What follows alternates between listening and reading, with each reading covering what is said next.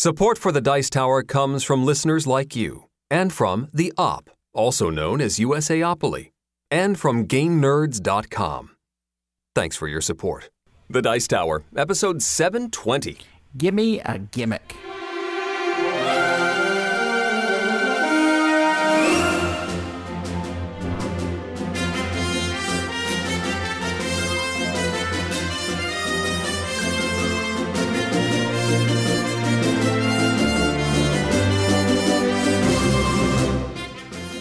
Welcome to the Dice Tower, a podcast about board games and card games, and especially the people who play them. On today's show, Tom and I have played games with each other. Geoff plays games with monkeys, and our listeners have been playing games incorrectly this whole time. Finally, we draw you to the table with our top 10 gimmicks in games. I'm Eric Summerer, and here's your host, the Bob Costas of board gaming, Tom Vasel. Hey, everybody, I'm Tom Vasel. Hey there, I'm Eric Summerer. Welcome to the Dice Tower. And, um, yeah, I don't really got any kind of clever thing to say at this point in time other than "Ah, school is coming back. Yeah, yeah, yeah. I don't know why. I was. I stopped by the store with my daughter today to pick up some food, and I saw the school supplies, and I said, "Doesn't that bring a warm feeling to your heart?" Wow. Yeah. She, she was not impressed. No, no, my kids don't want to hear about school, although they were looking at like the, the last couple weeks of camp, and we have a family vacation coming up. And so it, it is obvious that things are moving toward school starting, but we don't start till uh, the first week of September. So we have a little bit of time left. I keep forgetting that. That's how that. I mean, that's the way it was when I was a kid. I just down here schools start earlier, but Yeah, it's it's weird how different sections of the country have different schedules entirely. Um, so I guess I don't know whether that's good or bad. I guess it feels like we get a summer, but then we tend to go later into June uh, than than other areas of the country. I don't know why we're talking about school. We're not even. We don't even have a school game. There's no transition here. Well, we can talk about a, a quick celebration. Uh, yesterday, I, I got to celebrate the 100th episode of Dice Tower Tonight, uh, which was a show that I started with you, Tom, back in 2017. That's right. Although, just to be clear, folks, it wasn't yesterday. It's yesterday, as of us recording this. It's Right. almost a week old, actually. But you can find it on the Dice Tower YouTube channel. You very much can. We played a lot of games with the chat. It was a good time, uh, and I think it, still fun if you go and, and check it out, not live. Yeah, I'm seeing all over the internet. There's a lot of advertising. You know, a lot of these uh, folks are. There's a lot of celebrations of 10 year anniversaries going on right now. Hmm. I did my first review in uh, 2002. So Oh boy, you're gonna have a 20 coming up? I don't know if it's like technically a 20, but maybe we'll do it. 20 years at the Dice Tower. Oh boy. Were you you weren't even called the Dice Tower then, no, right? I think the Dice Tower, the Dice Tower as an exact thing started in 2005. Yeah. So I missed my 15th anniversary. Oh well, you were busy. Yes. Um, well, anyway, folks, lots of things going on. So, d- as Eric pointed out, we do have a video channel if you listen to this. And if you don't have time to watch the video channel, which I suspect many people who listen to this uh, show do not, you can always look at dicetoweraudio.com. That's just like a podcast that plays the audio of many of the videos we have on our channel. With that being said, I would invite you to the Dice Tower retreats, but they're sold out. The Dice Tower cruise, I'd like to tell you about that, but that's almost sold out. Not quite, but it's getting close. And Dice Tower West, folks, stay tuned on our channel. Uh, the the first week of August, we'll be making an announcement about the where's, whys, and hows of Dice Tower West, and registration for that will open first week of September. All this is not that far away. Yes. I'm already- Mar- time marches ever forward. I'm already planning the autumn spectacular.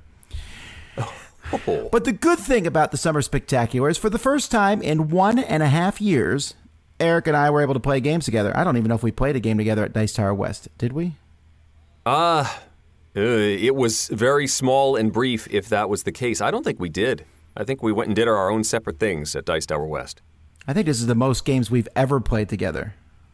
It, we were we were quite active. Got to play a lot of stuff, um, try out a lot of new games. I loved being in such close proximity with the library and getting to see the office and and just hang out with people and and play games with adults. Uh, for for the first time in a while, um, at least in, in any sort of like intense capacity. I've done a couple of game nights, but you know, this was sort of like a mini con for me. I got to play several games in a day and then come back and do it again the next day. And I hadn't done that in a long time. Sure, when we turned the cameras off, we were still playing games. So, uh, yes. So, speaking of that, I'm just going to let Eric run the game time here. And I played three of the games with Eric, so we'll talk about them together. Oh, well, let's let's start with one that Tom slapped down on the table and said, "I've been waiting for this to arrive. I want to play this game." That's, the that's game true. is called it came in. The, it is it very came in true. the mail. I opened it up and I said, "Let's play it." We're playing this. Uh, this is called Meadow. Uh, this is published by Rebel Studio. The designer is Klemens Kalicki. Uh, he did Dream Home, Right. uh, which was also from Rebel Studio. And uh, this is a it's a set drafting game, a card drafting game in which you are creating a tableau of various scenes of nature. Um, all of the cards have nice little watercolor paintings and uh, you know nature scenes.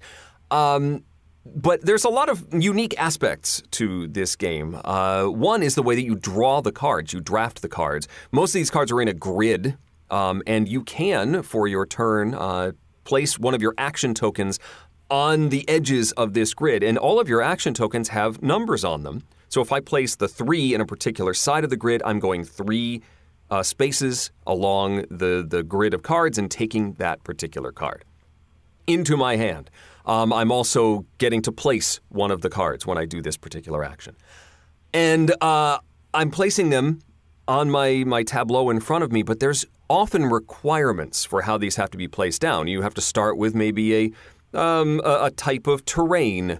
Uh, and then an insect might need a particular type of terrain, so I have to play that on top of that terrain. And then a bird might eat that insect, so I can play the bird on top of the insect. And they all have little icons that represent these. But often, when, say, the bird eats the insect, there will no longer be an insect icon on that bird card. Sometimes, when the insect, uh, you know, does something, the insect only takes up a small amount of, of that biome, and so many of those icons will still appear on the insect card. It, it's very thematic in a very subtle way.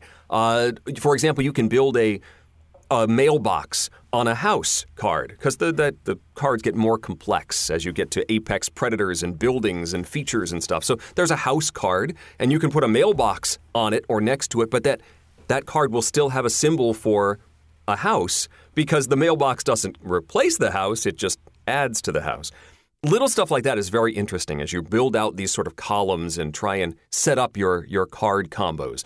Um, the other thing you can do, instead of grabbing cards from that grid, is you can go to the other side of the table where there's this campfire board, and you your action tokens that have those numbers on them also have a reverse side with special powers on them, like play two cards or draft multiple cards from the board, but you don't get to play any. Um, and so you have to choose how you're going to use your tokens. Do I use them to draft using the number four, or do I use them to play two cards uh, on the other board? You're, you're trying to get combinations of symbols to score points and, and bring out more and more different creatures. The more complex they are, the more points they will be worth at the end of the game. There's also landscape cards that you can bring out, and then once you've got those out, you can find objects in them and develop them, and lots of opportunities to score points as you add to your tableau. But there's a lot of really neat, brain bendy, subtle aspects of this game that I really enjoyed. And so uh, I'm looking forward to my next play of Meadow. I really, really like Meadow. I've played it quite a bit since that play I did with Eric. And it's there's one problem I have with the game is that I think the four player game is a bit too long. Okay. It has eight rounds, and I think six would be much better. And I think the only reason it has eight rounds is so that every player has a chance to go first twice.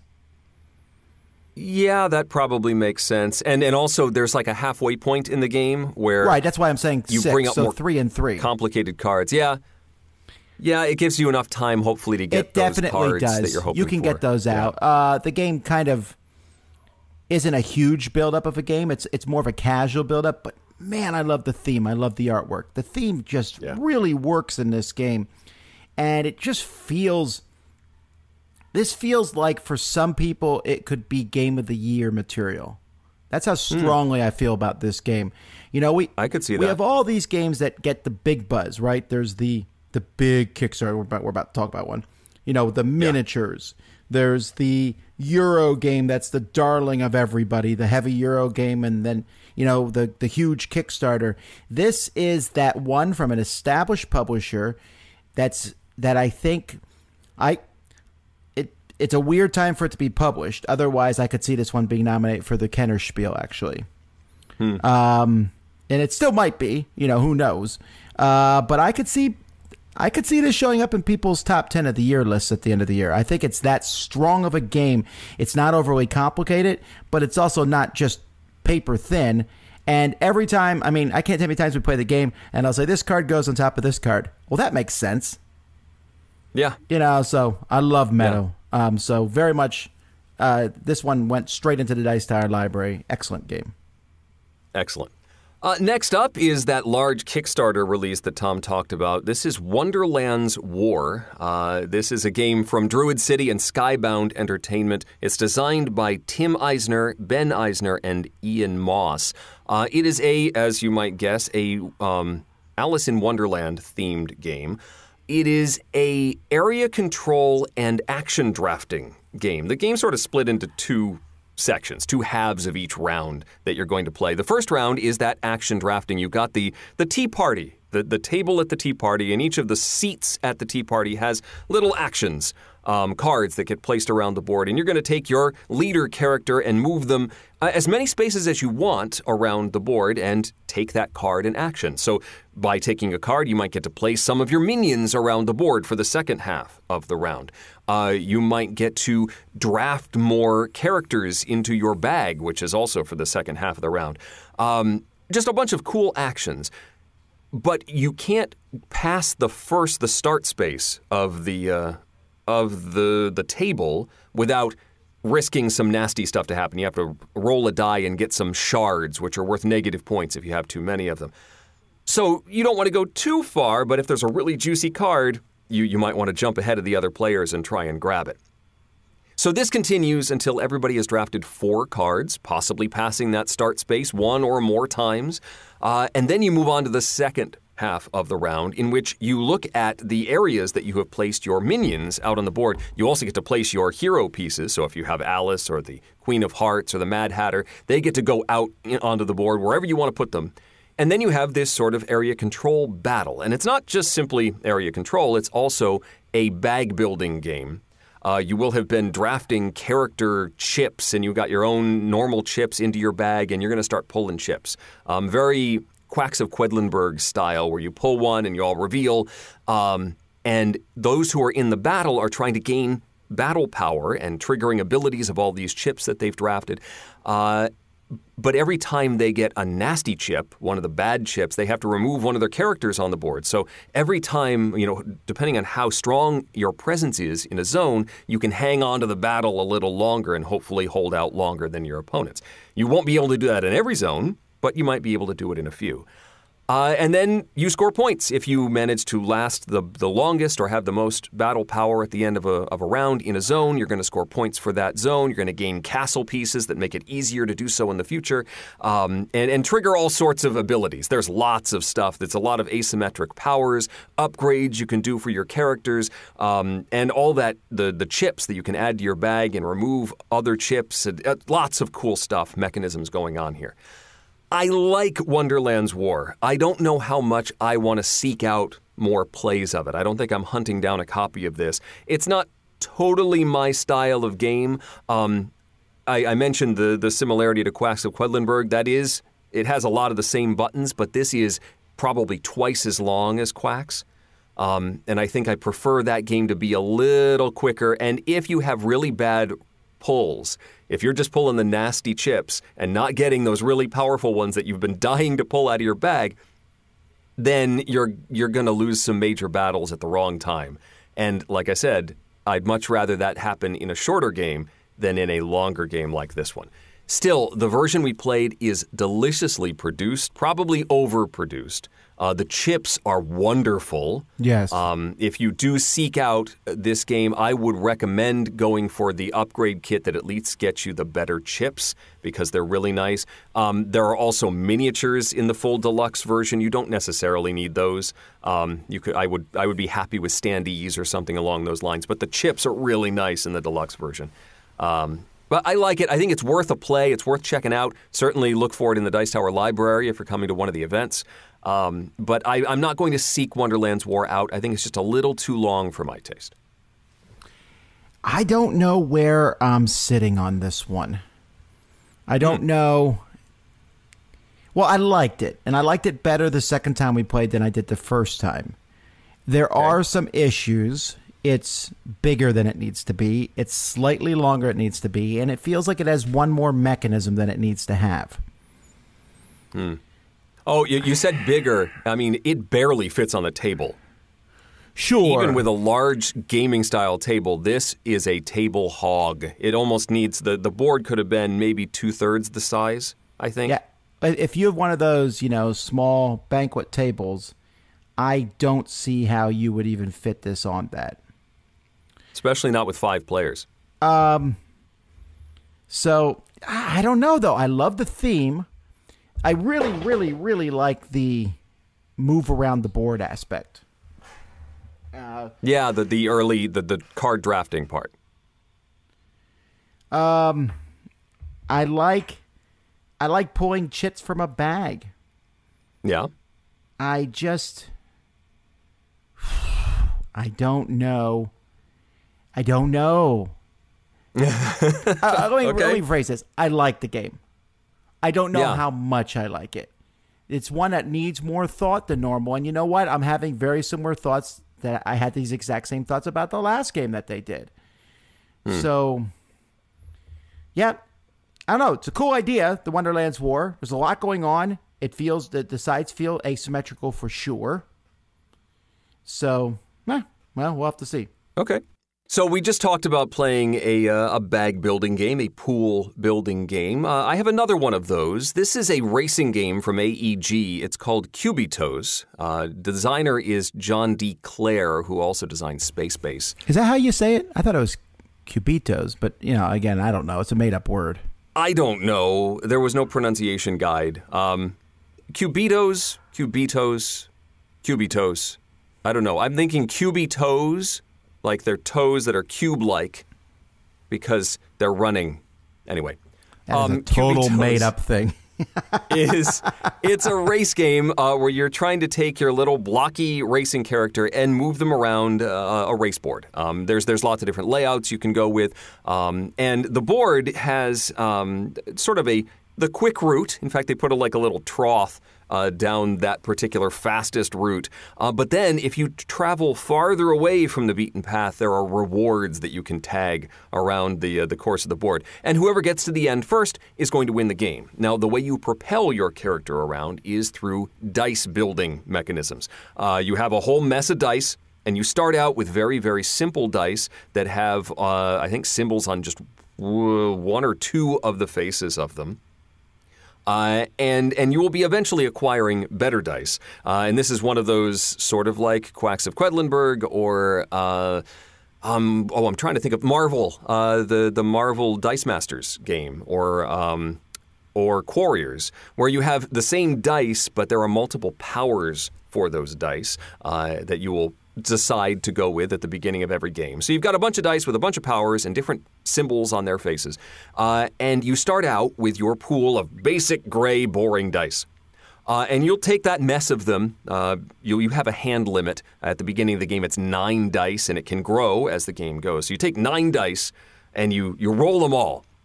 And whatever you get symbols of, you put into your sort of play area. Uh, and as long as you have less than three symbols, you can keep rolling your, your dice that didn't do anything for you. Uh, but once you have three symbols, you may continue going, but you risk busting. So at any point, if you already have three usable faces on your dice or more, and you roll and you get no additional faces. You get blanks on all the dice you roll. You've busted. You're not going to get anything this round except you get to put your, your little character around a little mini fan track that gets you bonuses, sort of a consolation prize for the round. But if you didn't bust, you decide to stop, you get to trigger all of your, your little die faces. Some of those are footprint symbols that you can use to move around the board, and others are money that you can use to buy more dice. All of the dice that you used go into this sort of discard pile. You don't get to touch those for a little while until you need to draw more dice and you don't have any. And then you can take your discard pile and put them into your draw pile.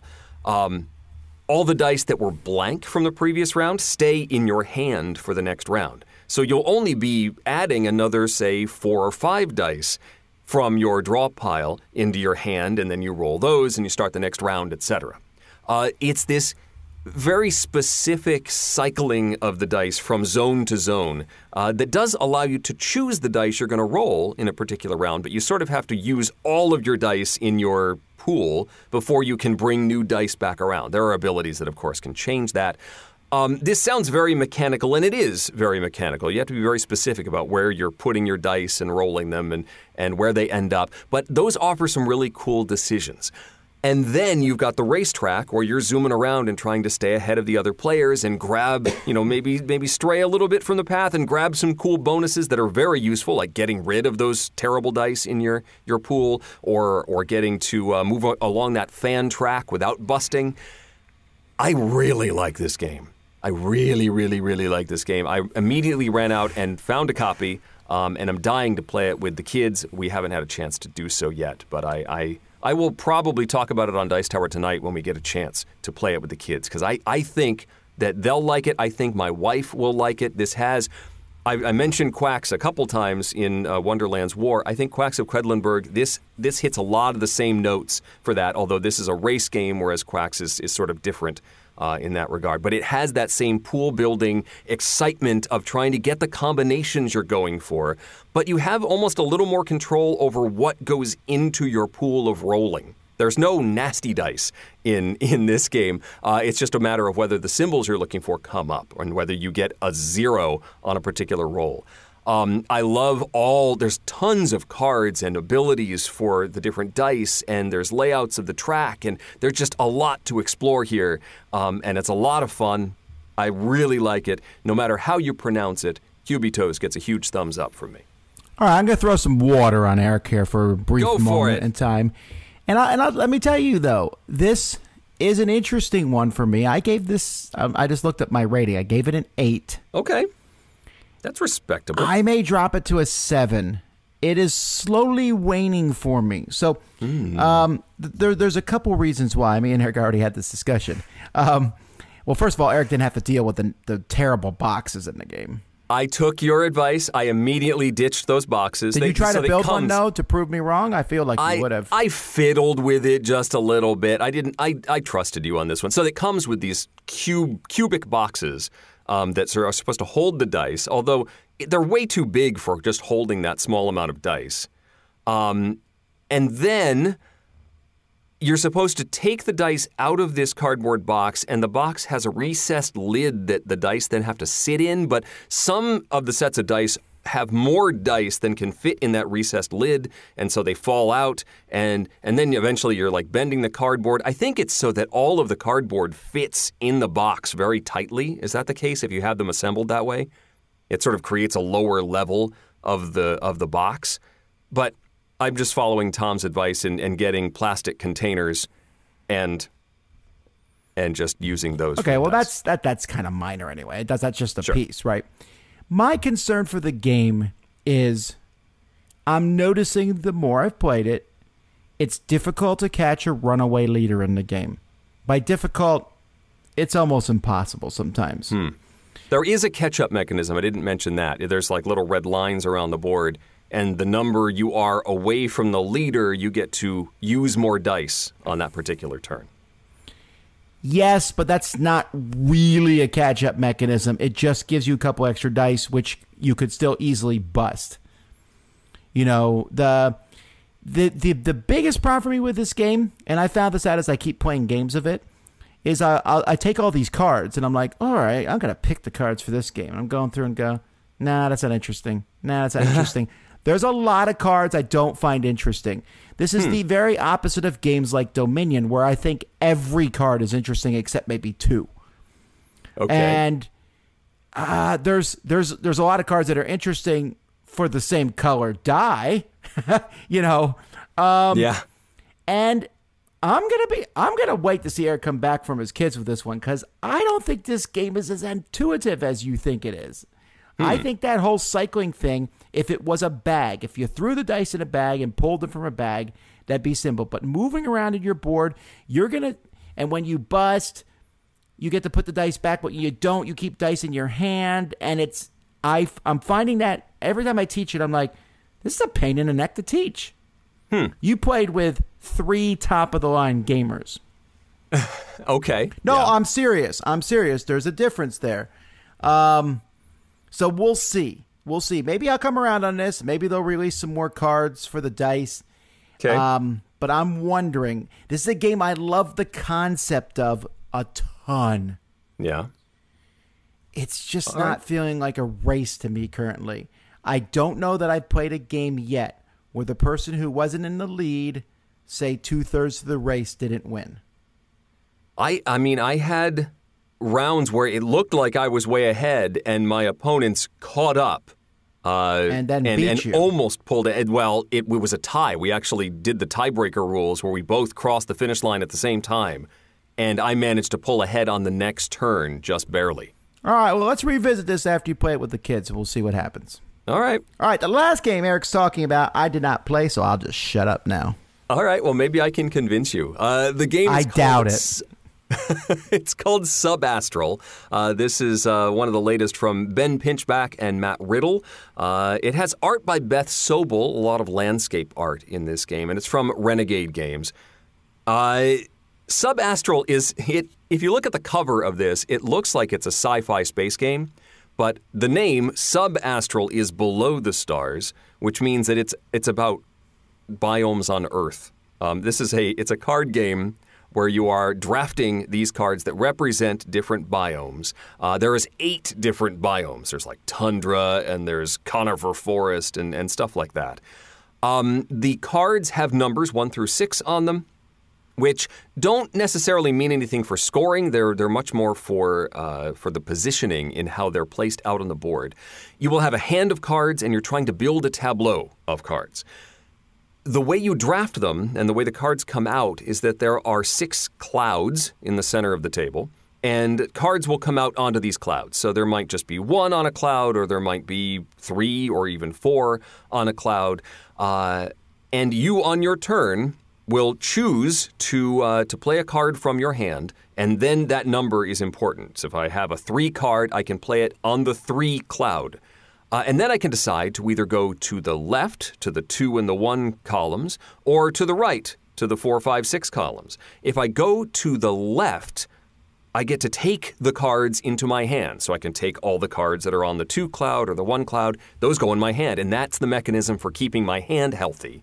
Uh, because you don't want to run out of cards in this game. It, it, you basically have to just draw a card and lose your turn if you do that. That's not good. That's not efficient. So I can go left, get cards into my hand, or I can go right and put all those cards into my tableau.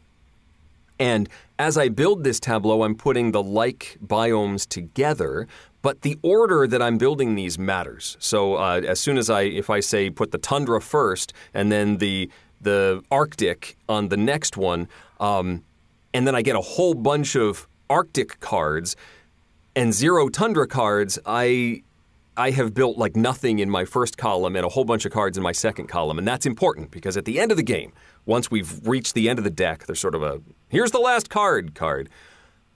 Then uh, we get points for having long strings of like uh, tundras or, or biomes. Uh, and also, we get lots of points if we've built evenly, um, starting from that first biome. So, like I said, if I have three of the, the first biome um, and then a huge gap before I get to like the third or the fourth column that has a whole bunch, another three or four cards in it, I'm not going to score for that second and third card because I didn't. I didn't build enough of my second column. I have to sort of build them all equally if I can, if I want to earn the points. Um, and, and then you total up and see who wins. Um, the, the real joy in this game is that cool drafting. Uh, how do I keep my options open when an opportunity comes up to grab a cool stack of cards or get that biome that I'm missing out of my eight into my, my tableau? Um, I want to have a card that I can grab it uh, with the, the numbers that I have in my hand. So keeping that economy healthy in your hand is the trick. Um, I did not try this with two players, but I did speak with one of my fellow players who did. Uh, he thought that it was much better with more players than just two because when you have just a couple players, uh, the swings can get a little nastier as as sometimes the the columns get really long, um, and one player may be able to capitalize that, on that more often than others. With multiple players, that sort of evens out a little bit, but with just two, it was too easy for one player to sort of get, always get those really good uh, draws coming out on the board. Still, I liked it for a quick card game, an interesting twist on drafting, uh, makes your head twist just a little bit. The scoring is a little tough to explain, as I tried to do here. Um, it, it's just tricky. You almost have to see it laid out to understand what I'm saying. But yeah, you want to build all of the biomes and you want to build a lot of some biomes. And the farther out uh, in your columns you build those lot of biomes, like if my seventh column has five cards in it, I'm going to get a lot of points. So do that in Subastral from Renegade. Yeah, maybe. It's Subastral is one of those games that might be good, and indeed it has a good pedigree. It's just that these companies that make a big game, and then there's always like a small game. It's like it's like the big game, kind of. It's in the same stuff. you know, the same universe of the. Well, I mean, this is like real life universe, but it's kind of like our bigger game. And I'm always very suspicious of those games because they're they're often kind of thrown together. This is related to a larger game that they did, isn't it? I haven't played that one. I think so, which is why I'm I'm I'm cautious because I played the Search for Planet X, and at the same time they made a little card game, which I forget what it was called, and mm. I hmm. played that, and I was like, well, this is that's. Can I go back and play Search for Planet X? you know, so but I mean, hey, I was about to say I'm not gonna not gonna throw water on you, but I I, I did. You uh, did earlier, but you, well, don't have different. justification. Well, again, so. I want to be go, going back to Cubitos. I'm not saying the game's bad at all. I'm still saying it's good. I'm just I'm I'm not as loving it as much. That's all. Okay. Well, you should give this one a try. It, it goes by real fast. This is a nice, uh, you know, filler weight uh, game to, to try out. All righty, let's listen to Geoff.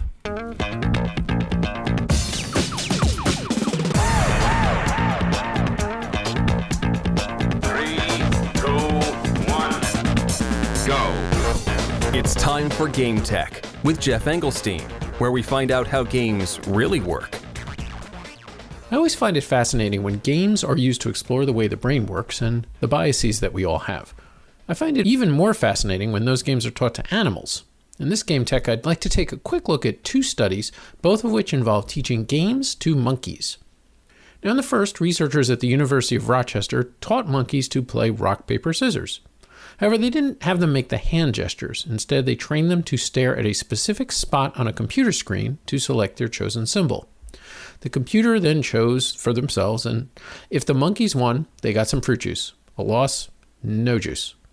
Uh, two male monkeys participated in the study, referred to as Monkey E and Monkey F.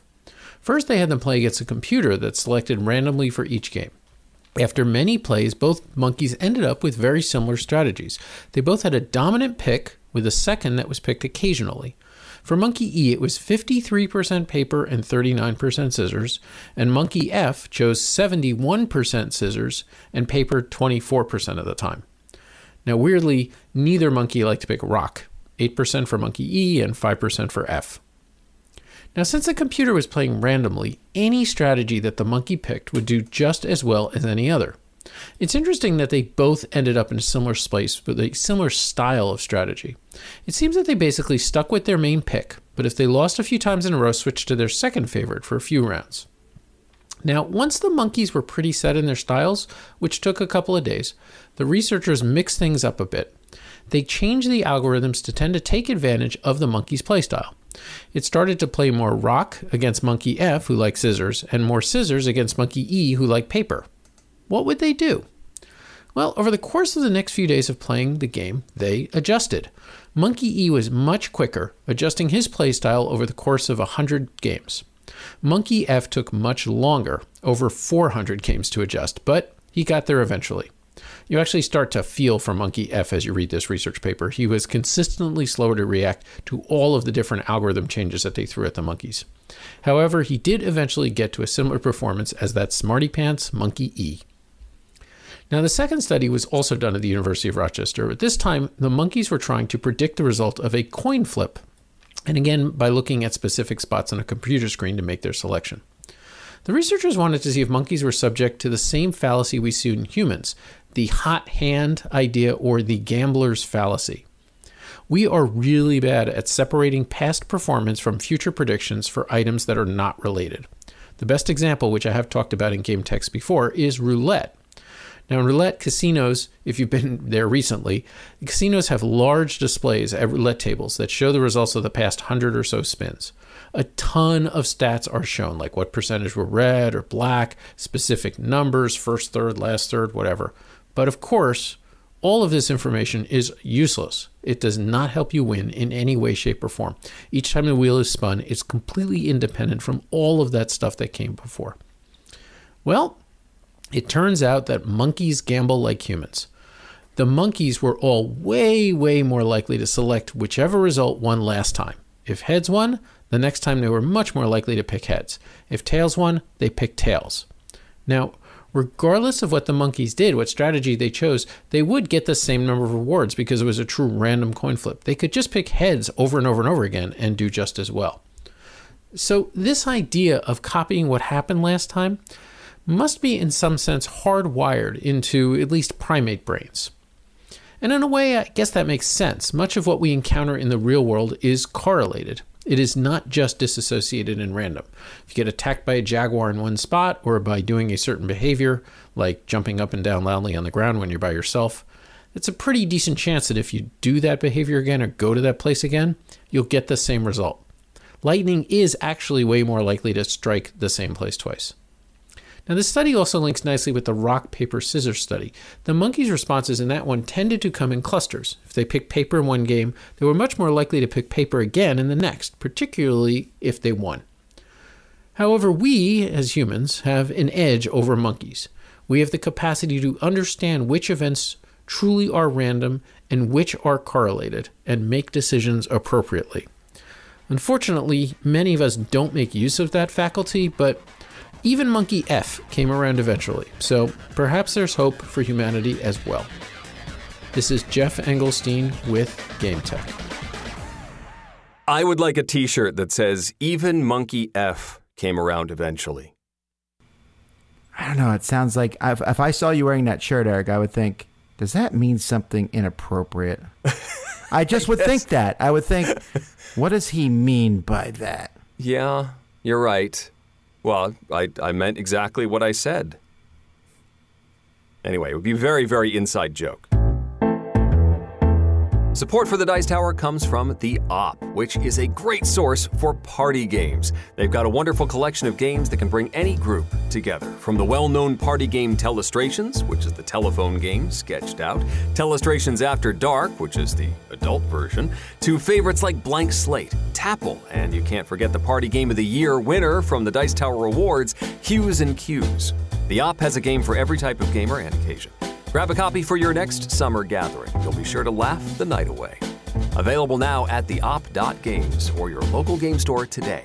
And an exclusive for Dice Tower listeners 10% off your entire purchase at theop.games. It's available for all games, puzzles, and accessories. Free shipping available on purchases of $49 or more. This is available for U.S. residents only. All you have to do is enter the code Dice Tower, all one word, at checkout at theop.games. Question. Questions. Questions. Questions. Our first question's from Robert. Our first question after the bathroom question, anyway. Um, Robert says he was uh, playing a game and he was watching a playthrough of Indonesia, and the merging of companies aspects seems so unique. Um, it's not totally unique. There's it's been done in other games, but anyway. Okay. He says uh, if a designer created a mechanism and was particular of it, could they patent it and cause nobody else to use it in a game? Some have tried, if I'm not mistaken. Well, But- the answer to that is pretty simple. If you have the money of Wizards of the Coasts, Sure. you can scare off people, but the courts have ruled that you can't patent mechanisms of games. Yeah. Oh, but the, the other question, which I've, I wanted to talk about here, is he said, Robert says, let's say you played a game 30 times, a small, quick game like Santorini, and you find out you were playing a rule incorrectly. Huh.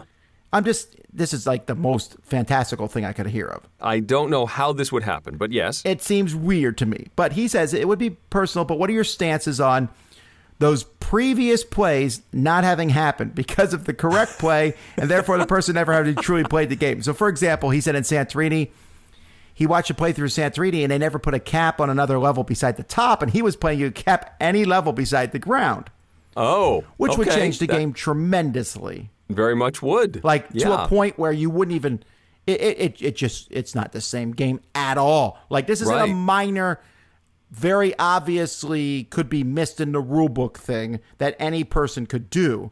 This hmm. is a, a clear erroneous. Yeah, rule. right. That's that's kind of where I'm leaning with this. That Anyway, that is where you're saying, yeah. so he says, uh, okay, so so well, first of all, I don't know that it matters. Like No. like if you come in like I played the game 30 times. You did not, sir. I, I'm going back on Board Game Geek and I'm deleting all my logged plays. But I, I These know what don't he's, count. I know what he's asking. Like, did did you really play the game if you played a major rule wrong? How's that? Well, okay. I mean, yes, you played the game, but I would endeavor to play it by the correct rules from there on forward, right? I think that's what any person should do if it's actually correct, and then they you, you I would I would verify it for sure. Sure. I think if you if you played it 90% correct, you at least can say you enjoyed that 90%. Actually, that does sound like a god power. Like you can cap buildings at any level. Hmm. It might be maybe and Maybe. maybe it's just a variant, but yeah. There you go. Then he says, "What's the most difficult game?" Th- Oh. th- this is their opinion. Obviously, it could be mentally to grasp, difficult to beat, or anything else you can think. I guess we'll take. I'm assuming we'll, we'll talk about board games here. Well, sure. I, I mean, it, it really depends on what you call difficult, because there's a lot of games that you can you can really destroy your game very early on. I'm thinking of uh, most of the Splotter titles, Food Chain Magnate. You can make a, an early move that just puts you out of the running entirely. Um, Age of Steam can do that. I was.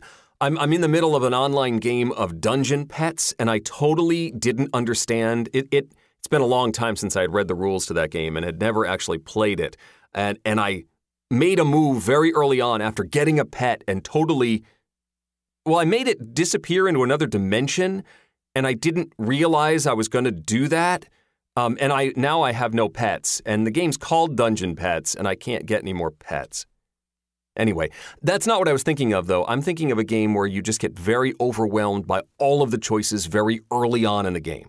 Um, something like a feast for Odin. I have felt that way, that overload. What the heck am I going to do? Or or Carnegie, um, where you're just faced with a whole menu of possibilities right at the beginning of the game, and uh, what why? I think Is those even out to yet? me are the most difficult games. Uh, which game? Carnegie? Carnegie's not out Er- yet, is it?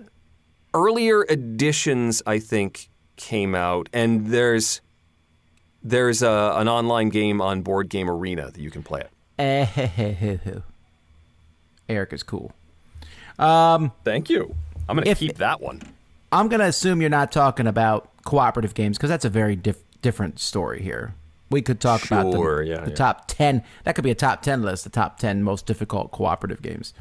Um, Yep. For me, the hardest game for me to play is uh, Go. Actually, and Mm. it's and it's not even that it's it's not rules heavy because rules heavy games I can sit there and I can be like, this is a slog. Ah, Yeah, you know, but I will yeah. eventually get them. Go has only a few rules, but it I find it to be just so overwhelming. A guy will put a stone in a board and be like, Yeah, and I'll be like, I, "What did you do? I don't know what the difference between putting the yeah, what- stone there was and anywhere else on the board." Yeah, in, I in would Korea, freak they out. had a they had a channel, you know, uh, about Go, and they would put stones in a board, and they'd be like flip, flip, flip, flip, and I, I, I don't know anything that just happened.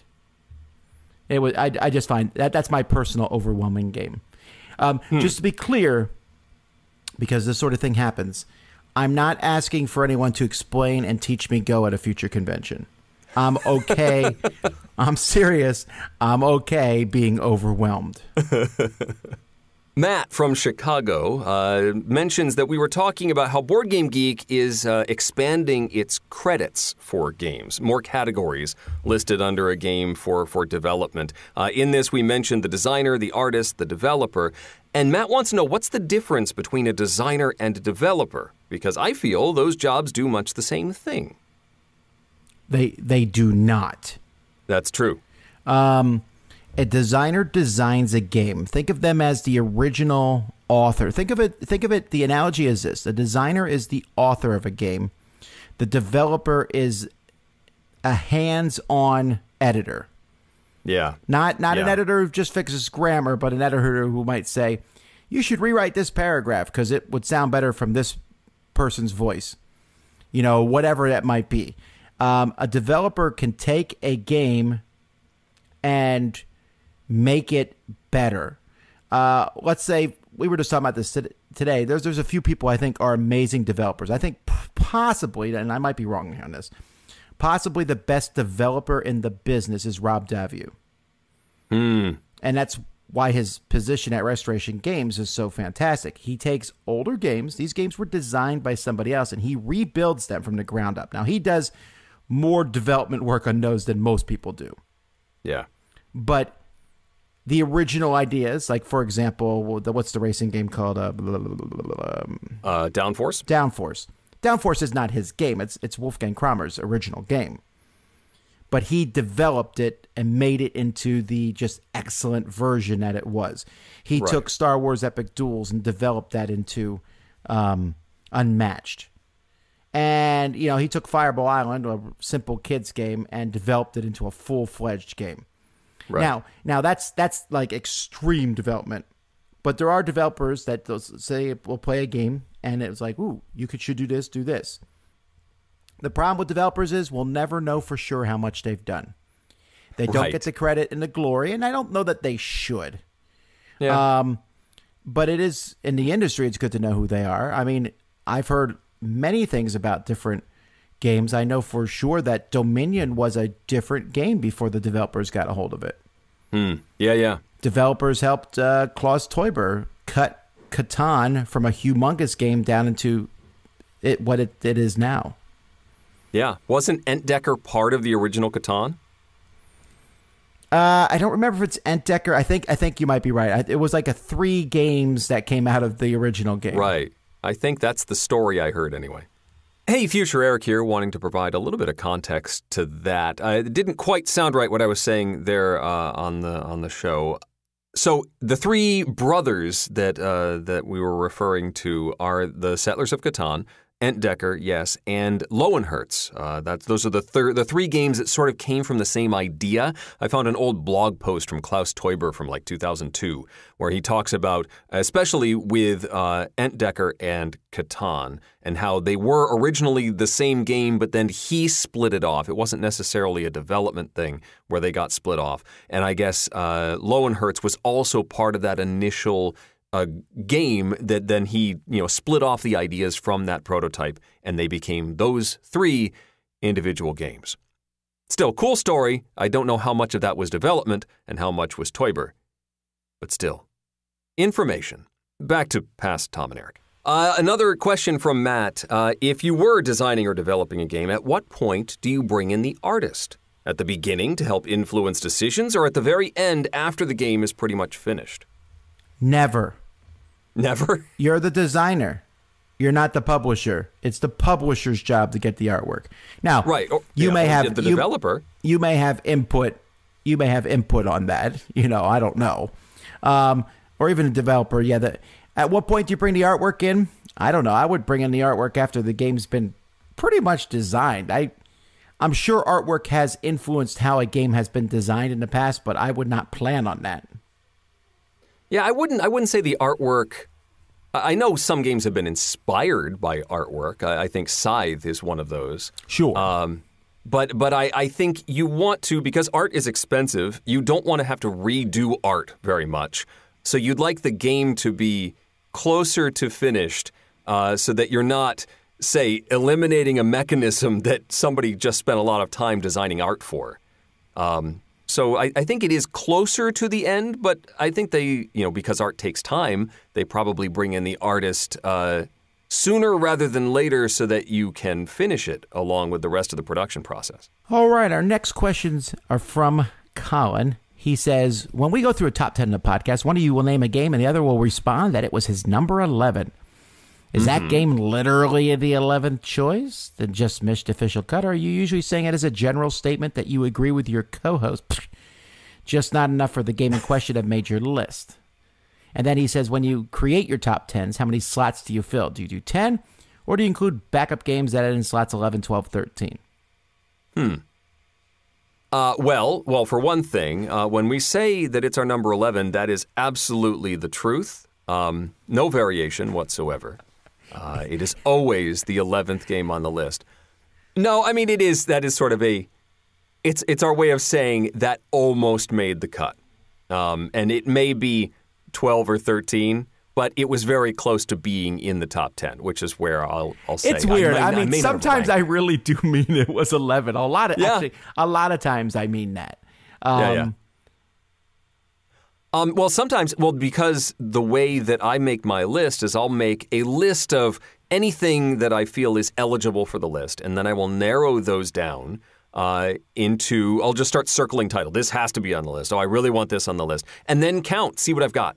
Um, and usually I'll have maybe seven or eight games, and I need to find uh, two more, or I've got 11 or 12 games, and I have to figure out which ones to eliminate. Um, and and that's where when that happens, then I absolutely know that that game was number eleven because it was the last one I took off the list. Um, or if I'm faced with two slots and three possibilities for it, then I yeah I know that number eleven was the one that didn't make the cut. Um, so usually I know if not formal what whether it's 11 12 13 etc but i know that a few were just on the cusp and so saying that something's 11 is not that far off accurate for me. Yeah, I don't usually make actually I shouldn't say the only time I do it is each year when I make my top 100 I I will go all the way up to 300 in actual numbers. Wow. Um, just because I find that amusing for myself. But for each top 10, as soon as I have the number 10, I'm done. I, I have those other games on that scratch piece of paper, I do exact I do the exact same thing Eric does. I write them all down, circle the ones that will make it, add a few, subtract a few, done. You know, then yeah. take those the ten that I have left and number those. Sometimes I'll I'll write the list down and I put number one next to the, to me the very obvious choice. Um, but yeah. I don't I'll then sometimes keep start counting with the out first past few 10. or the last. Yeah, yeah, yeah. Except for oh, I'm sorry. In the end of the year, I always go to tw- I always go to twenty for my for myself personally. Okay. Sebastian says there were and are a lot of downsides to the world crisis, but the silver lining, at least for me, is that I've played more board games than ever since the crisis started. We do weekly online sessions where normally it would take about a month to get the crew together. And playing board games online has its issues, from server issues to numerous bugs in online board games, but we also found a lot of upsides, more specifically, the way games help you along a more streamlined game. For example, in Ticket to Ride, showing the cities you need to travel from and to, or in Terraforming Mars, show you your available moves, where you can place your cities, etc. Same goes for games like Istanbul, Scythe, and even Waterdeep. We even mused that when we play in real life board games again, we'll take our laptops to one location and keep playing online. I've heard of this actually happening. I don't remember it was a listener or whether somebody on Twitter talked about it, but that has certainly happened. Um, does that feeling resonate with you too? Are there games you used to play at the table but are now reluctant to because the online experience was far more streamlined? No. Hmm. No. The only exception to that might be Werewolf. But Look, online is great. I'm glad it exists. There might be some games I don't bring to the table that because I might just play them on my iPad, it's faster. Terraforming Mars comes to mind. But no, I love people. I want to be back with Yeah, people.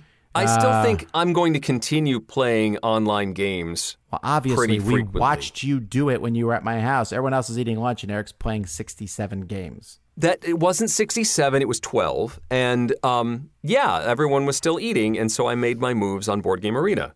That's only the polite thing to do. Everyone was waiting for me to make my moves, and so I. I'm not I saying it them. wasn't polite. I'm just, I'm not even saying it's bad. I'm just saying you definitely like doing it. I do. Uh, oh, last question from Sebastian. A year of working from home will probably change the way we work forever. Will a year of online board gaming change gameplay needs forever? Could it be that there will be a higher demand for games with smoother experiences? I don't games understand that that take less. question.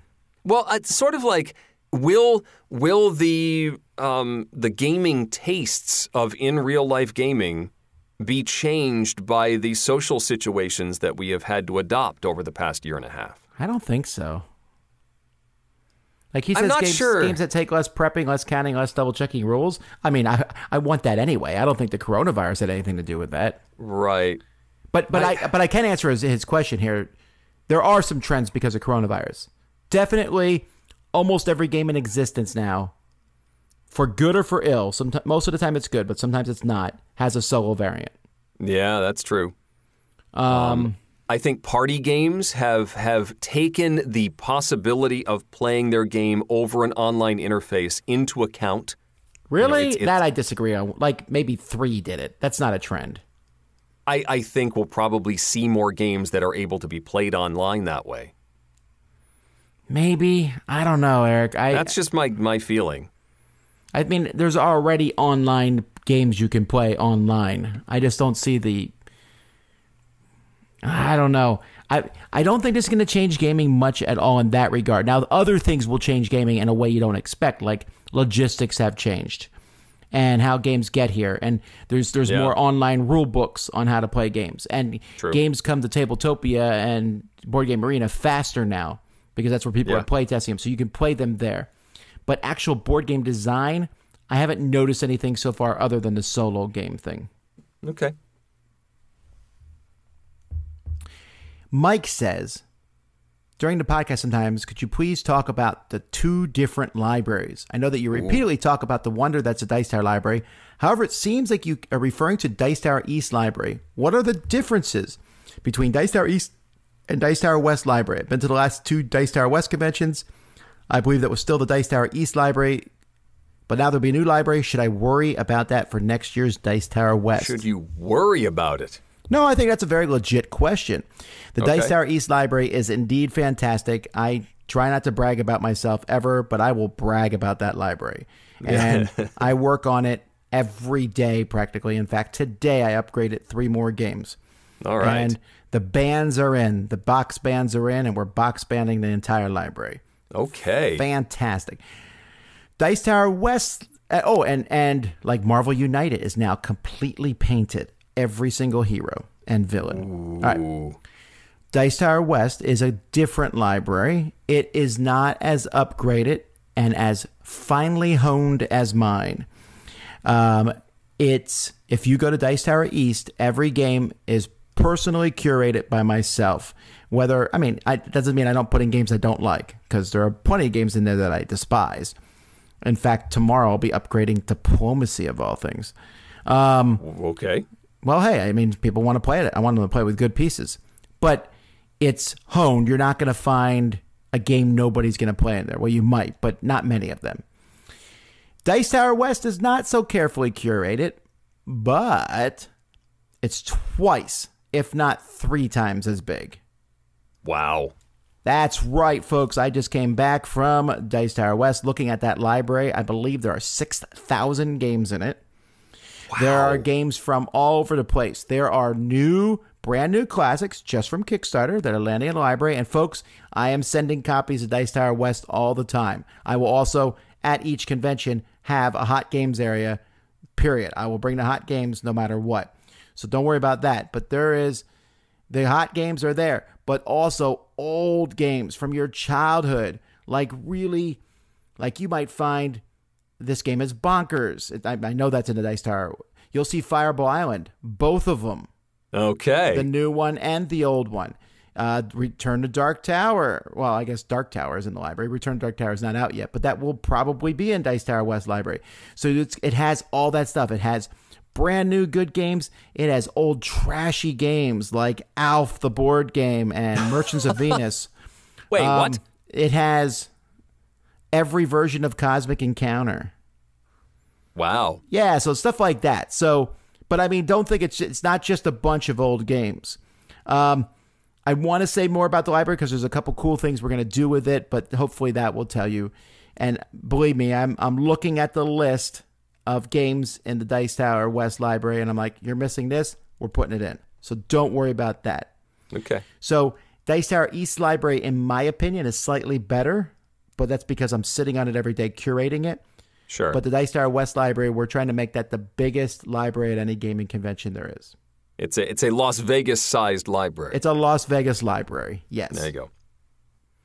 Uh, last for today is a question from Daniel. You are invited to the Tonight Show with Jimmy Fallon, or to your favorite talk show and host. You get to talk about one game each. What game do you choose? I'm thinking more about the game he's going to play with me on the show. I like that stuff he does. I want to play one of the party games with Jimmy. Um, I would probably choose Pandemic. I'm deleting that from the final podcast. Let me. Let, What? I would pick Pandemic. Oh, what a great suggestion, Tom. No, I was thinking about this. Like, I would probably take whatever game I was in the mood for at that point in time, like some hot, welcoming game that I thought people would like. Right? That's what I would. I would take. Yeah. But yeah, yeah. right now, I would take Pandemic. Sure. And I would say something like, just like they beat the pandemic in this game, we can do it in real life. I don't know. I would say something along that line. I would be very positive. I wouldn't do it in any negative way. Like I, oh, we're all tired of this. Like, but in this game, we're beating it, and it's a fantastic game. It right now, that's what I would choose.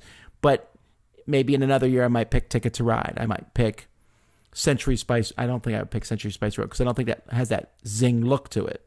yeah, I might I might pick Splendor to show off with the chips. I don't know if I'd pick that one either. A party game, maybe Codenames. Yeah, that's a good one.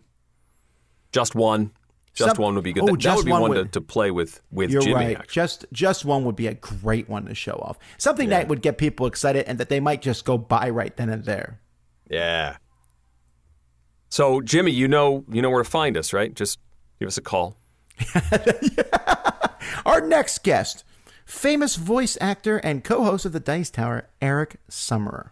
You know, we we joke, but I think there are uh, writers for Seth Meyers that are definitely board gamers because he has had jokes hidden in his his uh, closer looks and monologues about German board gaming, and they are spot on with some of the stuff he's talking about. So there are definitely gamers on that staff. So late late night folks, if you're listening, You know what? We'll, we'll show up on any talk show. We on, will. that- I mean, I'll show up on a daytime talk show. sure, The You View. If you want us on, we'll be there. Kelly and Ryan, we'll show up. Alrighty, let's get to the top ten. It's a Dice Tower Top 10! The Dice Tower's top 10 list is brought to you by GameNerdz at GameNerdZ.com. All right, gimmicks in games. So this is What's a gimmick, Tom? Oh, you know what? I was I was actually I had it prepared to to tell you. Oh. So the definition of a gimmick is a trick or device intended to attract attention, publicity, or business. In the Philippines, it also means a night out with friends. But I think Oh, that's not what we're doing. that's not the definition I used. The night out with friends. Um, it's definitely something in the game, a mechanism or a device, often a device, Yep. that's there to suck you in. You look at that and go, well, that's cool. Yeah. Now, that doesn't mean that the game is cool. And I want to be clear for me, while the Yep. vast majority of my games I think are good, the gimmick is what's attracting me. And also, I could have did a top 100 here. Uh, yeah, pr- quite possibly. This was hard to I'm narrow looking down. at I'm looking at Eric's list and I'm like, I should have put five of those on my list, but I don't know what I would drop off then. So There you go. Yeah, uh, same thing. Yeah, I love several of yours. I'm like, oh, that would have been a good choice. That would have been. I, I'm almost happier that we we don't have a ton of crossover on this one, and that's probably good. We can talk about more stuff. this is also not a. Uh, sometimes I feel very emphatic on my, on my uh like this is a top ten. This is it. Yeah. Here, if you ask me to make this list tomorrow, it might be ten different games, and I wouldn't even be upset about that. Yeah, no, this is this is definitely a bunch of cool stuff list. All right, here we go. Number 10. We're going to kick things off with the single crossover. My number 10 shows up later on Tom's list, but that's fine because it hasn't arrived from Kickstarter yet. That's true. My number 10 is the Camel Up. And in Camel Up, so you could say that the, the camels being on top of each other and moving is the gimmick, which it might be. But the gimmick for me is the pyramid that you press a button and it drops a die out, Yeah. which was actually an annoying gimmick in the original Camel Up. But Yep. in the new version of Camel Up from uh, Plan B Games, it's a plastic device which works really well. You put some dice in, you press a button, and you don't know what die is going to come out. So it, it's a colored die that comes out, and then that die rolls. It's really dumb, and I really like it. I don't know Yep. what it is uh, about it. So the the pyramid and Camel Up. Yes, I, I felt really bad the first time I played this game. Uh, it was somebody who just bought a copy at Gen Con and was like, hey, we're going to play my new game. And the, the thing was already bending. The cardboard tower was already bending and it, it was sort of broken by the time we were done playing with it. And that was sad. So I'm glad they've upgraded it. Number 9. My number nine is the letter wheel from Tapple, the party game where you're trying to name certain words, but you can only name one word with each letter of the alphabet in a particular round. So you're like slamming down these paddles that have the letters on them to sort of block off the letters. Uh, and then you hit a release button, and they all reset. It's kind of cool. It's neat. Tapple, the letter wheel, my number nine. Yeah, I like it. My number nine is the sleeves, the sleeved cards in Mystic Vale. Now this this this is this is the one I was a little iffy on in this list because this is precariously close to becoming a just known mechanism. Although the designer of uh, Mystic Vale, as this, he's pretty much the only designer who uses these cards in clear sleeves, clear cards and clear sleeves on top of each other. He all his games or a lot of his games do that. Right. So, but Mystic Vale's the one that introduced it, and I'm still tickled every time I put a card on top of another card. I'm like, hee hee hee hee hee. so I lined up the icons. Now I have many icons. I like it. So that's Mystic Vale. Number 8. My number eight is a bit of an older title at this point. Uh, it's Merchants of Amsterdam and its auction timer. Merchants of Amsterdam uses um, a, a Dutch auction system. Uh, and so this plastic device with a big plunger on it, you, you dial it uh, to the high price that you're setting an auction item at, and then you start it and it goes tick, tick, tick, tick, tick, tick, and the, the little uh, arrow goes down, down, down, down until somebody says, I'll take it, and they slam their hand on this plunger and break it, which is what happens with the uh, auction timer in Merchants of Amsterdam. So whenever I play it with somebody who had this, they're like, You're not slamming the button. You're going to say, I'll take it, and then you press it gently, okay? Okay. Anyway, the auction timer from Merchants of Amsterdam is quite the gimmick. Number eight. I kind of feel like my number eight is a crossover. So I, I'm I will agree. I will agree. I'm, I'm going to pretend it's a crossover. okay. And we'll talk about it later on in Eric's list. But I, I will allow it. Number 7. Number seven is from a game called Keyper, one of the Key series games from I definitely Breese. considered this one. Um, the, I'm, I don't know what they actually call it. I'm calling this the resource flip board. Uh, what are these things called? There are these these cardboard grids, um, and but they're hinged in various ways, in multiple ways, and so you're flipping various panels back and forth. They're double sided, and in order to you get the resources and actions available to you on the things that are visible when you have placed them down on the table. So you're flipping it around and trying to get, and you can never get all the things you want to be able to do. Um, but that is the resource flip board from Keyper, my number seven. Yeah, I love that. I wish it was better used, but I do love it. I love that in games. If it's if it's like in two, so A similar game that does this is Smartphone Inc. So not quite the same mechanism, but that same st- style of you know rotating your pieces around to try and get the action things you want. Yeah. That's 7A. My number seven is the tools and devices in Treasure Island. Treasure Island's a deduction game where one person is Long John Silver, everyone else is trying to find them, and you're using a compass, like a literal compass, and other navigational tools to slowly pinpoint on the island where Long John Silver is. It's not super precise. It's not as good as other deduction games in that regard, but it's so thematic and fun. And I'm like, look, remember when you used to do this and you just made 65 circles on your paper in school when you got the compass, other than stabbing people with it? Um, can you believe we were allowed to have those in school? There's very sharp edges on a compass.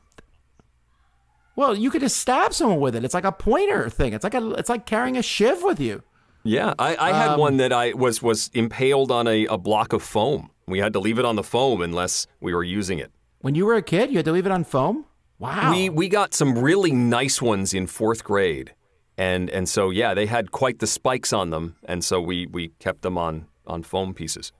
I like to be clear, folks. I never stabbed one someone with one. I did stab myself, but that's a different story. Anyway, a it's in Treasure use. Island. It's my number seven. Number six. Most of the i- items on my list are for some sort of physical gimmick. This is a mechanical gimmick, a mechanism in a game. That is the self-teaching deck from the uh, the Fable games from Friedemann Friese. One of my favorites is Flee, uh, a cooperative one, but Fortress is one of these. Fortune is another. You don't have a rule book in the game. You simply put the deck on the table and start flipping cards. All the instructions are either on the backs of the cards or on the cards you discover, and it teaches you as you go. Um, and you, you'll play multiple rounds, and, and everybody has learned the game. And I think it's a really cool design concept and a neat gimmick for, for teaching these small box card games. The self teaching deck from Flea, Fortress, and many other Friedemann Friese games. Number six. I do like this a lot. All right, my number six is one of the most talked about gimmicks when it was first announced, to the point where we don't talk about the gimmick as much now in the game, but before it came out, it was like the thing, and that's the gears in Tzolk'in. Mm. I remember when that first was shown off, I, my mind was like, "What? Gears that turn and turn other gears." Now it turned out to be not as amazing, and in fact, Tzolk'in is a fine, fine game. Yep. And the gears is actually used quite well. It's once you play it, you're like, "That's not really a gimmick," I guess, but it does draw you in. The first time Yes. you see Tzolk'in, you're like, "What is this? Let me sit down and see this." Do you, you get to spin this, right? Well, yes, but very slowly. you know. but I love, I love it. I think it's clearly a gimmick. So Tzolk'in, my number six. I mean, th- there's certainly other timing issues that the central gear does, but you could have just as easily, I think, moved everything down one. You could manually Right. have moved stuff, um, but it does make sure everything is synced uh, in in a way that that would have been difficult without those gears. They are very cool. Number five. My number five is an old school classic. It is the Pop-O-Matic Bubble from the game Trouble. It uh, the Pop-O-Matic was used in other games as well, but Trouble's really the only one that that really landed. Uh, it's it's a simple little bubble encased die d6 uh, and you you push down on it and it pops and the die rolls um, it, it means that the die doesn't get lost the die is always with the game um, and it it is pretty good at randomizing i think uh, at least I haven't really had issues with any copies of Trouble I've encountered. And it's just fun to do. It makes a cool noise, and you can, just, I want to pop the bubble. Um, good times with the Pop-O-Matic Bubble from Trouble, number five. I do love that Pop-O-Matic bubble. All right, my number five. The whole game is a gimmick. Sure. That's DropMix. Yeah, So if you don't know what DropMix is, it's a big musical making machine that it hooks up to your phone or some electronic device and plays songs through it based on cards. You drop these cards in different locations and you drop a beat. And the songs are a very eclectic mix. They have Yes. I mean, they got um, oh, what do they have? Uh, they have KC and the Sunshine Band. They got the Transformers theme. That was a They have- promo. Sure, but I mean, at this point, the, the whole game's hard to get, so I don't Yeah. care what. You have fun trying to get it, but it's definitely a gimmick, and the game is nothing to write home about. It's like an Uno variant almost, but Hmm. the gimmick brought me in and kept me messing with it for a really long time. DropMix. I do have the slightest bit of regret. There was a period, there was a window when, because originally this was like a $100 game, and there was a window where they were getting liquidated. And I could have grabbed it, and I didn't. Um, and I, I do sort of regret not being able to play with DropMix because it's quite the gimmick. Number 4. Number four is uh, is sort of a variant of a very popular gimmick, the Dice Tower, but this is a cube tower from Wallenstein.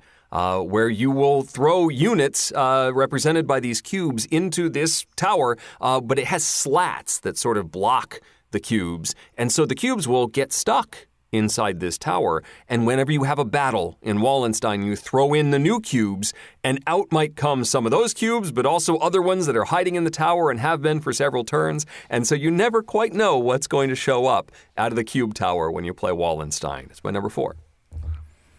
Yeah, I I almost put this on my list too. Um, here's the thing: I, I think Cube Tower is closer to an actual really good thing over de- gimmick. I don't even know anymore. I just whatever. It's on Eric's list. Great choice, Eric. If only there was a modern variant to it, though.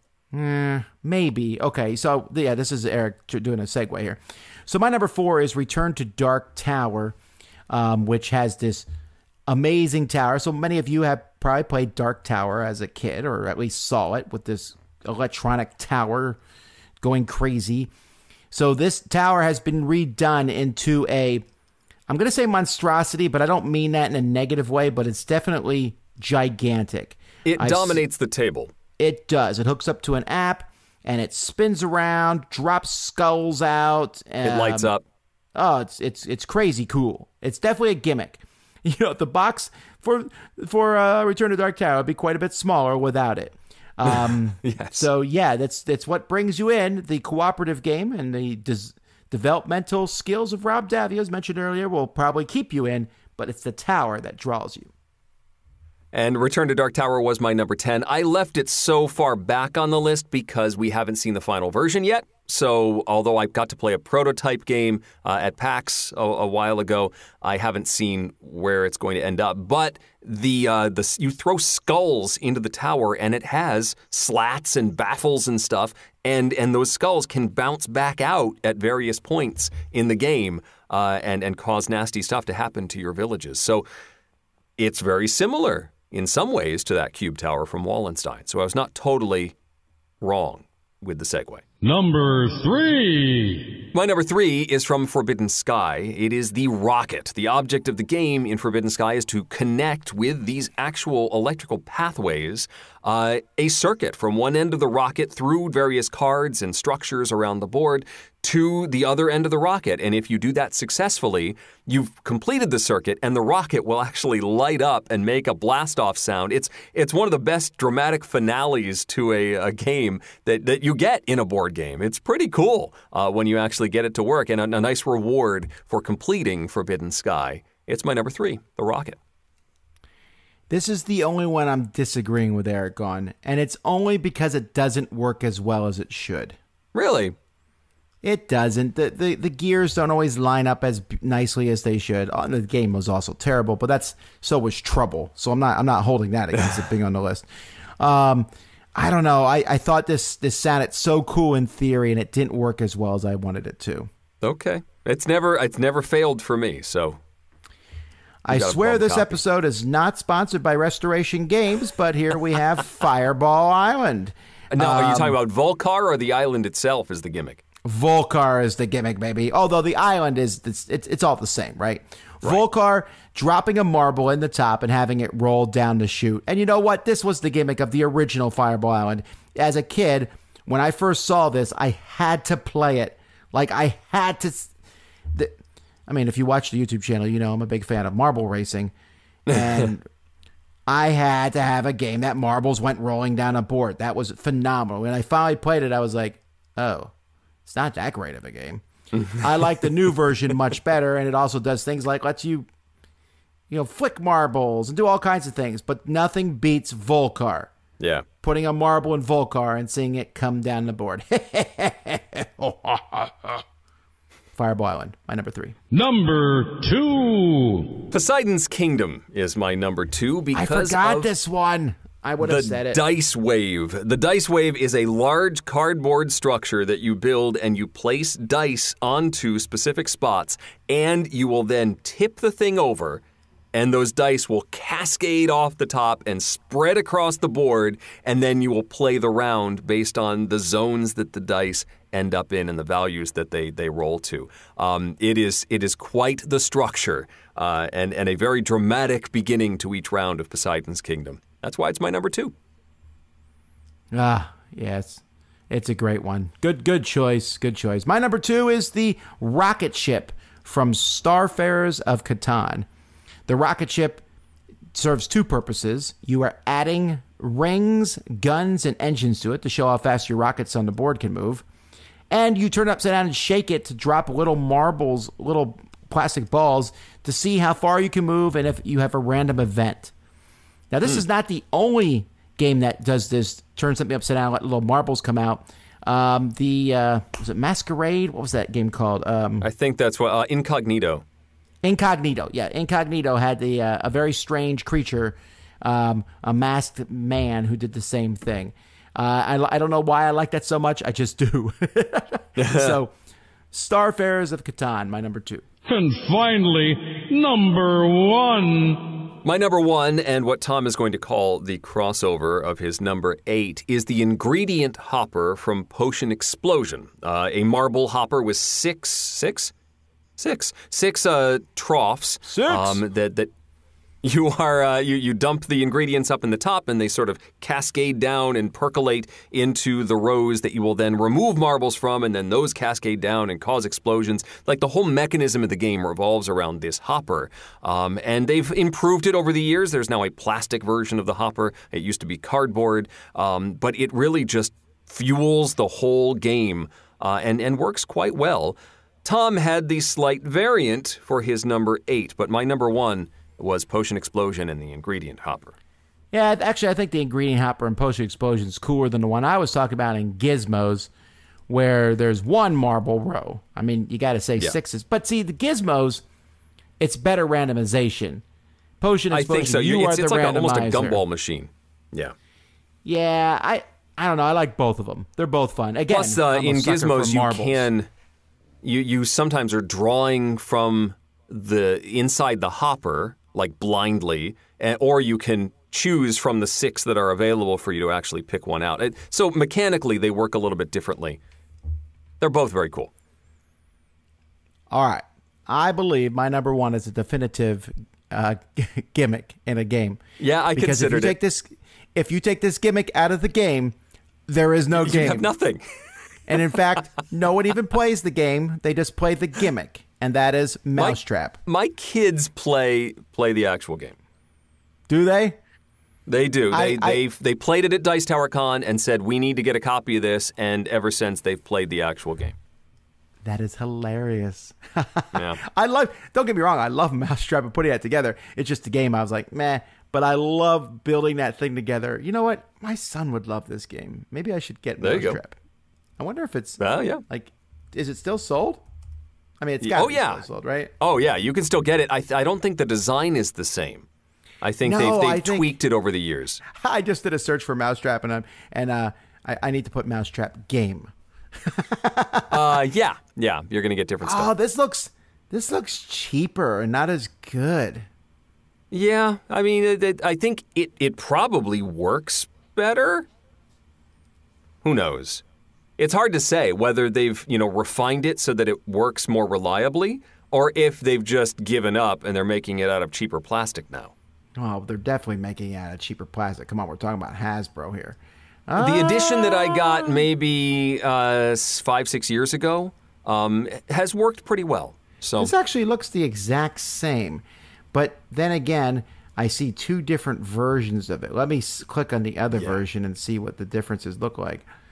Oh, there's no They've man- kept the iconic elements. So there's, uh, I think there's always a man in the rub a dub tub, and there's always a boot kicking something, um, and the the the zigzag down the ramp.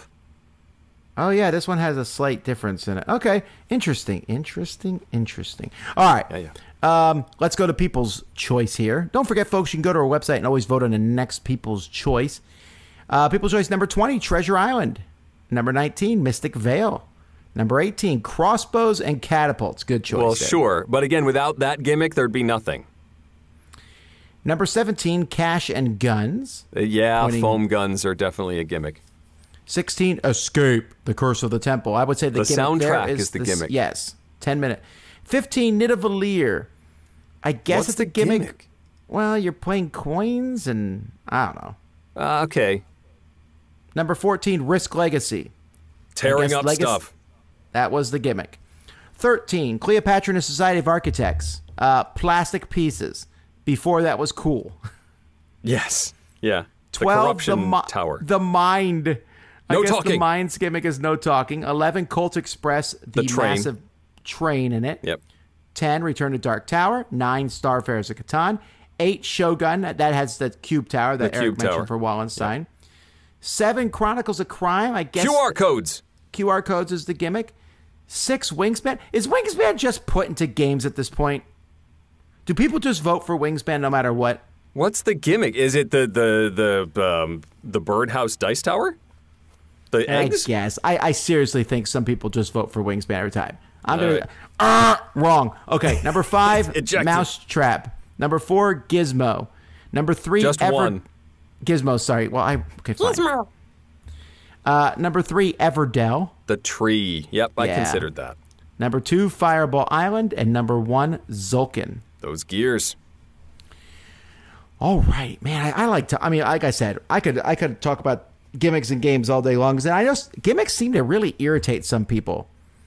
You know, It's like oh, usually that's used just as a a pejorative, but yes, a gimmick can really draw you in. It gimmicks work on me. They definitely do. If you're like, this game has magnetic stuff, I'm like, it does. Show me more. I mean, This board talks. It knows where your fingers are touching it. What? yeah, you're definitely a sucker for gimmicks too. We we we I definitely am. cross over in this regard. Well, you, do you remember what was the the Reiner Knizia game that that the board knew where you were touching it? ah, it was like a King Arthur game. King Arthur, except it didn't work right, and people had to lick their fingers to make it work. And it's like, okay, we haven't really seen that again. Anyway, uh, Alrighty, folks. Well, there you go. That's another episode of the Dice Tower. Thanks so much for hanging around. As always, I hope you all have a fantastic day. Come back and listen to our next episode. But until then, I'm Tom Vasel, I'm Eric Summerer. and you've been listening to the Dice Tower. Thanks for listening. Promotional consideration has been provided by game publishers in the form of review copies of games. This episode number 720 was recorded on July 22nd, 2021. Mandy and Suzanne take the controls for next week's episode, and in two weeks, Tom and I will be breaking down our top 10 city games. This podcast is sponsored by listeners like you. Thank you for your continued support. And speaking of support, the Jack Vasel Memorial Fund is dedicated to providing support to members of the board gaming community in their hour of need. If a catastrophic event has become more than you can handle, find out how we can help at jackvasel.org. The Dice Tower is produced by Tom, Mandy, Suzanne, and Eric, with assistance from Rob Searing, Chris Yee, Mike DiLisio, and Roy Canaday. Pubs that are welcoming to all mouth parts are brought to you by Taverns of Tiefenthal. Timothy Pinkham composed our theme, and hosting is provided by GameNerdz, your all in one solution for all your nerdy needs at GameNerdz.com. Let us know what you think of the show by posting to the Dice Tower Guild at BoardGameGeek.com, following the Dice Tower on Twitter, or by emailing us at tom at Dicetower.com or eric at Dicetower.com. And don't forget to visit the other shows in the Dice Tower Network, including Board Game Blitz, the Portal Gaming Podcast, the Family Gamers, Board Gamers Anonymous, the Broken Meeple, the Game Pit, and Dice Tower Tonight. Find your next favorite at Dicetower.network.com. Until next time, from all the gang at the Dice Tower, have fun gaming. All right, Tom, existential question. Are the top 10 lists our gimmick? Are we recording? uh, we are recording. No. Not a gimmick at all. Eric is cool.